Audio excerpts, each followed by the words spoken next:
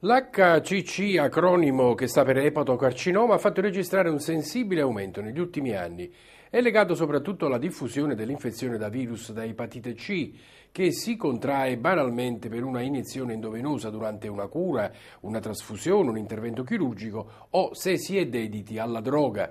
Tra il 50 e l'80% dei casi si può guarire, nell'altro 20-50% dei casi la malattia evolve verso la cirrosi epatica e di qui verso il cancro.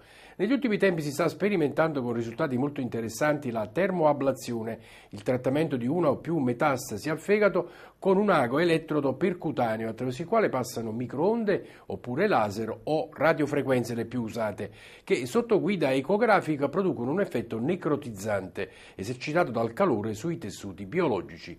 Sulle tecniche di termoablazione usate anche nelle strutture sanitarie campane è molto avanti il servizio di ecografia diagnostica ed interventistica della clinica Salus di Battipaglia.